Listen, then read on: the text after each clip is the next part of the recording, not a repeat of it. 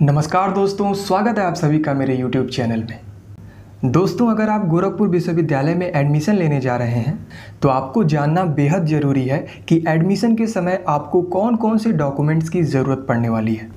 अगर आपको पहले से ही पता होगा कि कौन कौन से डॉक्यूमेंट्स की ज़रूरत पड़ेगी तो आप एडमिशन के समय परेशान नहीं होंगे। तो चलिए वीडियो में आगे बात करते हैं कि आपको एडमिशन के समय कौन कौन से डॉक्यूमेंट्स को तैयार रखने हैं।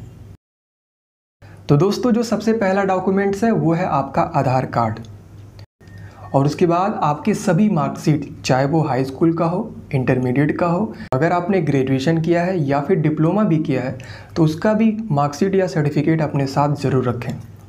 और इसके साथ ही साथ जो अगला इंपॉर्टेंट डॉक्यूमेंट्स है, वो है टीसी यानी कि ट्रांसफ़र सर्टिफिकेट अगला इंपॉर्टेंट डॉक्यूमेंट्स है, वो है कैरेक्टर सर्टिफिकेट और फ्रेंड्स मैं आप सबको बता दूँ, आपने जिस लास्ट इंस्टीट्यूट या कॉलेजेस में पढ़ा है, वहाँ का ही कैरेक्टर सर्टिफिकेट आपको बनवाना है। वहीं अगर आप सी e या आई बोर्ड के स्टूडेंट हैं तो आपको माइग्रेशन सर्टिफिकेट भी बनवाना है। अगर आप यूपी बोर्ड के हैं तो आपको माइग्रेशन सर्टिफिकेट की ज़रूरत नहीं पड़ेगी। वहीं आगे बात करें तो कास्ट सर्टिफिकेट डोमिसाइल सर्टिफिकेट और इसके साथ ही साथ इनकम सर्टिफिकेट की भी ज़रूरत पड़ेगी। और बता दें, ये जो तीनों सर्टिफिकेट है, ये तीन साल के अंदर का होना चाहिए। तो अगर आपके पास ये डॉक्यूमेंट्स नहीं हैं तो मैं कहूँगा कि आप इसे फ़ौरन बनवा लीजिए। और दोस्तों, वहीं अगर आप ई e से बिलोंग करते हैं तो आपके पास ई e का भी सर्टिफिकेट होना चाहिए।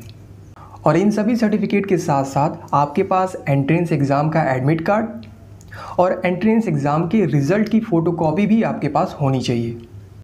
और दोस्तों, जो सबसे लास्ट वाला डॉक्यूमेंट है, वो है काउंसलिंग लेटर को एडमिशन से पहले काउंसलिंग लेटर भी डाउनलोड कर लेना है, जो कि एडमिशन के समय आपको डी के ऑफिशियल वेबसाइट पर मिल जाएगा।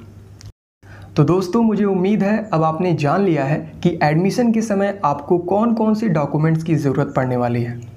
अगर आपके पास इनमें से कोई डॉक्यूमेंट नहीं है तो आप एडमिशन से पहले उसे तैयार कर लें। तो दोस्तों, फ़िलहाल इस वीडियो में सिर्फ़ इतना ही। अगर इस वीडियो से रिलेटेड कोई आपके मन में सवाल हो तो आप मेरे इंस्टा आईडी के थ्रू मुझसे पूछ सकते हैं, जिसका लिंक आपको वीडियो के डिस्क्रिप्शन बॉक्स और कमेंट बॉक्स में मिल जाएगा। तो मैं मिलता हूँ अपने अगले वीडियो में, तब तक के लिए धन्यवाद।